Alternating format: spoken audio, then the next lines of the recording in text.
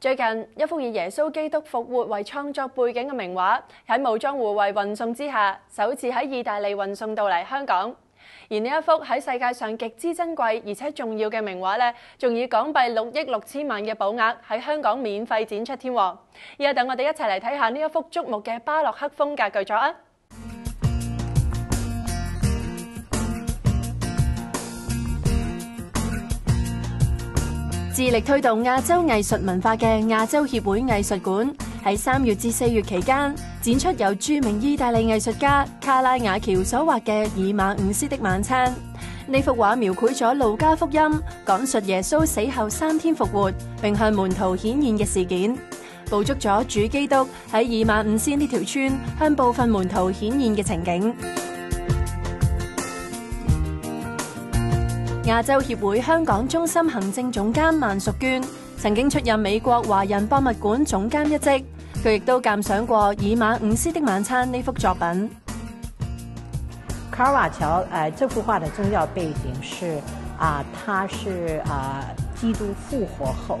啊，跟他的名门徒在 Emeas 的小镇里碰面。当时他的呃门徒不认识他，是在晚餐以马师以马为师晚餐的时候，突然哎认了呃基督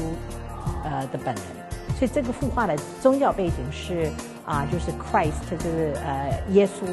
复活后啊被他的门徒认的时候，所以这个很特殊的背景，就是因为啊卡尔瓦乔一六零五年画的那那时候。他算是个呃基督教徒，他他的门他的人生过了很，他有杀了人。我想这幅画在卡拉瓦乔，他可能想就是救赎吧，啊啊就是有一点就是啊复活，就是在再回到啊他像以前那样的生活，就是被救吧。我觉得在那个耶稣的那个啊，你把那个灯哦那个光照到耶稣脸上，他我想卡拉瓦乔也是希望。啊，他自己能在啊，从啊从黑暗回啊啊，就是有光线的时候吧。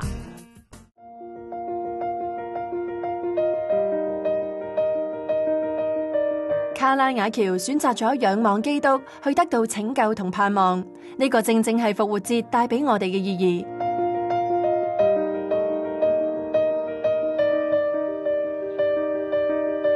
今次展览，展馆特别安排咗我的以马五斯星路声音导览活动，模拟当时门徒同耶稣嘅对话，协助参加者理解以马五斯的晚餐入面嘅人物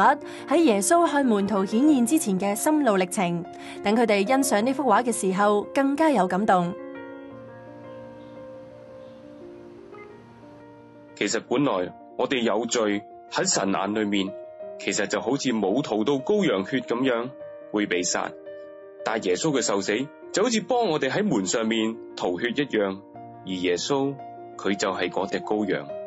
大家了解咗呢幅画嘅背景同主题之后，都可以邀请朋友一齐入场睇呢一幅《以马五斯的晚餐》，趁住复活节期间同佢哋分享耶稣就系我哋嘅拯救同盼望。